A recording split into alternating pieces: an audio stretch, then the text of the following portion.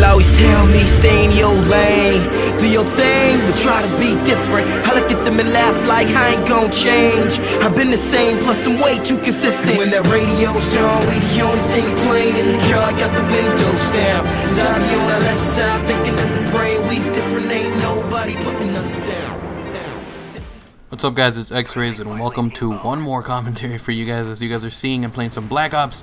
I thought I'd break it up from all the Modern Warfare 3 that everybody's been posting and everybody gets kind of tired of watching a dying game already. So that's the reason you're seeing some uh, Black Ops in the background, just using the MPL and uh, I, I do pretty good here. I end up getting my chopper gunner, my dogs, and my SR-71 I think it was, but uh, yeah, so I hope you guys enjoy that in the background. And I have a topic that I want to talk to you guys about. It's basically, will Black Ops 2 be a chance for people to blow up their channel? So, uh, we all know Modern Warfare 3 did a good job for some people uh, who got insane gameplays. Uh, they grew their channel and, you know, just a huge amount over a short span of time. We know people like Green Goblin, Jay Nasty, and you know just a bunch of other people who just posted up insane gameplay and then their channel grew because of it.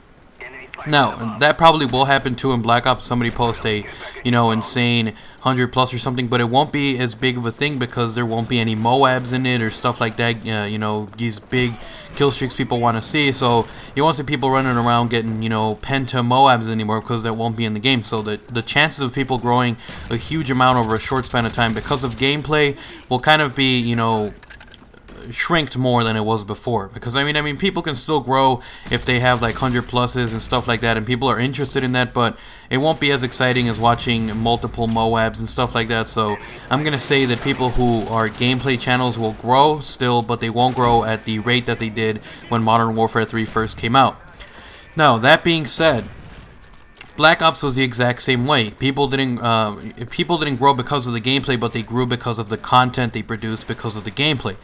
Black Ops is a great way for people to grow their channel. If you guys think I'm lying, look at people like White Boy 7th Street. White Boy 7th Street, when Black Ops first came out, he was at around 400k subs. And then once Black Ops came out over the year, over the course of Black Ops, he grew to over a million subs. Now, you guys probably think I'm lying, but no, if you look at the stats, he even made a video himself talking about how Black Ops was the, was the key game that made his channel grow and it made his channel blow up. Now, so what does this tell me? This tells me that when Black Ops 2 comes out, this is going to be a huge chance for anybody. It doesn't matter whose channel it is. They're going to have a huge chance to grow their channel. Why do I mean this? Again, going back to the fact that gameplay won't be such a huge thing. Sure, people will want to see it. But people who are creative and have their own kind of series and things going with Black Ops 2 will grow their channel just the way that White Boy did. He did not focus on gameplay when Black Ops came out. He did high roller. He did stuff like that. He made live stuff. And that's basically what gave him a chance to grow his channel. Now, am I going to be able to try to use this? I think I will because you know, theater mode is going to be so much better in Black Ops 2 and it's going to, you know, lean towards the things that I do, like How to Be a Noob, stuff like that. I have other series planned. So I think my channel will grow exponentially with Black Ops 2, hopefully, fingers crossed. And I also think that my second channel, which is all going to be tips and tricks and stuff like that, is going to start off great. It's going to start off and uh, people are really going to enjoy it. So hopefully people do uh, enjoy my content and... Uh, you know that channel is going to grow. I hope you guys enjoyed this commentary, guys. Leave a comment down below. Do you think that Black Ops 2 is going to be a great chance for people to grow their channel, uh, you know, more so than in Modern Warfare 3? If you do, leave a comment down below. I want to see some thoughts on that, and I'm X's I'm out, guys. Peace.